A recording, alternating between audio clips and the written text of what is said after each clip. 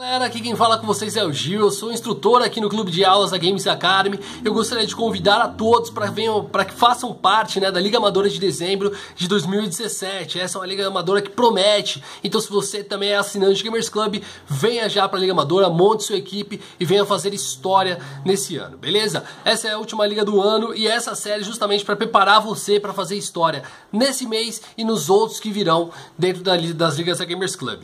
Inicialmente, essa é uma série para preparar preparar o seu time dentro do, de um sistema de fundamentos coletivos no CS. Inicialmente vamos falar sobre como definir o seu map pool e preparar os seus mapas no geral.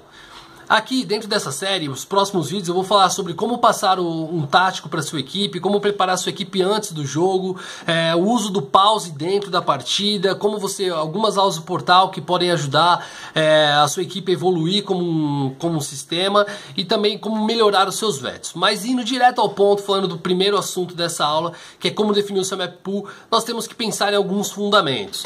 E um dos fundamentos é basicamente, bom, temos que definir um Instaban, que é um mapa que a gente não joga de maneira nenhuma, e depois definir a ordem dos mapas que, que nós temos, né? Que é, como posso dizer assim, separar para a gente entender qual é o melhor mapa, qual é o pior mapa, para que possamos jogar. Inicialmente, a gente tem a opção de tirar três, três mapas né, dentro do, dos vetos da, da liga, porque a liga amadora é inteira jogarem melhores de um, com exceção da final, que é uma melhor de três. Então, pensando nisso, para otimizar o nosso tempo e jogatina, é, eu vou falar algumas coisas para vocês sobre como definir esse Instaban e também a ordem dos mapas. O Instaban, a primeira coisa é você sentar com a sua equipe e vocês conversarem, perguntando um para o outro, falar, cara, o que você não gosta de jogar e o que você gosta de jogar.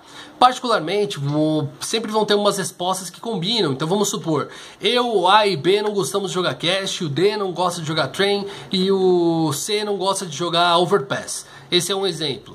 É, nós já temos aí por maioria que a gente não vai jogar cash. São um mapa que três dos nossos jogadores não gostam. E os outros dois mapas ali a gente pode colocar como segundo e terceiro ban. Isso é uma, maneira de agradar todo mundo e inicialmente a gente construir quatro mapas que são mais do que suficientes para jogar a Liga Amadora. No nosso caso aqui sobraria Nuke, Mirage, Cobblestone e Inferno. Esses quatro mapas a gente tem que entender como preparar eles para que na hora que nós formos para o jogo, é, já entender mais ou menos como a gente se porta dentro do mapa e também já deixar os treinos mais ou menos que a gente tem que ser feito. A preparação dos mapas é uma coisa que é, vai de time para time, mas no início todo time tem que ter alguma coisa básica. O básico é um hold, é, uma tática para o bomb site A, uma tática para o bomb site B. Isso do lado terrorista da, da sua equipe. Tendo isso em mente, é, algumas coisas que, que a gente tem que adotar. O hold ele é, uma, é um sistema de marcação e de domínio de posição. Então você pode, usando por exemplo a Mirage, a gente pode dominar a posição do, do Moscow 5, depois de dominar o meio, a gente pode fazer um domínio meio com uma pressão na ligação, a gente pode dominar o meio e esquecer o meio depois. Então nosso hold é justamente em buscar informação e tentar trocar kills, obviamente, e, e também ter um domínio de mapa que incomode a equipe adversária. Dentro desse domínio, nós temos algumas coisas que a gente pode fazer.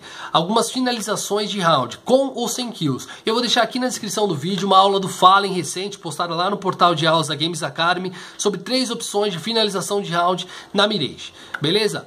É, passando do, do, modo geral, no 90% dos rounds são definidos no hold. Então, se você se atentar bem, se o hold for bem efetivo, necessariamente você só precisa realmente de uma tática para cada bomb e só para mudar o ritmo de jogo. O hold não está encaixando, de repente os caras começaram a anular o hold, a gente já começa a fazer uma execução para o bomb site da A ou bomb site da B. As execuções podem ser chuva de smokes ou pode ser splits também, que trabalham um pouco mais rápido, de modo a buscar o contato mesmo e tentar finalizar o round da maneira mais rápida e efetiva o possível. O preparo nos treinos eles têm que ser feito de é, pontualmente é, dentro do, dos horários que vocês têm com pelo menos um tático por dia ou três por semana. Se vocês tiverem cinco dias para treinar na semana, três táticos por, por, semana é excelente. Como a maioria dos times no Brasil treina de domingo a quinta-feira, é, se você colocar esses três, três, três táticos na semana é excelente. Obviamente que se você colocar um tático por dia, você tiver tempo para isso, é, é, importante porque você tem muito para agregar é, para sua equipe evoluir. E do lado CT, obviamente, é, você tem que combinar algumas jogadinhas dentro do bombe, alguns setups, o que a gente faz quando o parceiro do, do meio morrer, o que a gente faz quando o parceiro da morrer, como a gente vai fazer rotação, é, como a gente dá, dá combate no domínio do, dos terroristas e por aí vai. Isso você consegue é, com, de duas maneiras. Uma é assistindo as aulas da, da Games Academy, né, que, que seria o mais rápido também, o mais prático e tendo aula com um dos melhores do mundo, que é o Sr. Falenzão, e também através de demos né, de equipes profissionais do Tier 1 Mundial. Dessa maneira, eu gostaria de, de, ter a opinião de vocês aqui nos comentários, o que vocês acharam disso, espero que tenha ajudado vocês de alguma maneira. Não se esqueça de se inscrever no canal da Games Academy, também ser um assinante do clube de aulas do, da Games Academy e Premium na Gamers Club também, porque aqui Spray Bom é na Gamers Club e é o clube para quem joga a sério. Se você está querendo fazer história, aqui é o seu lugar. Beleza? Vejo vocês na próxima, no próximo vídeo da série, um abraço e até lá!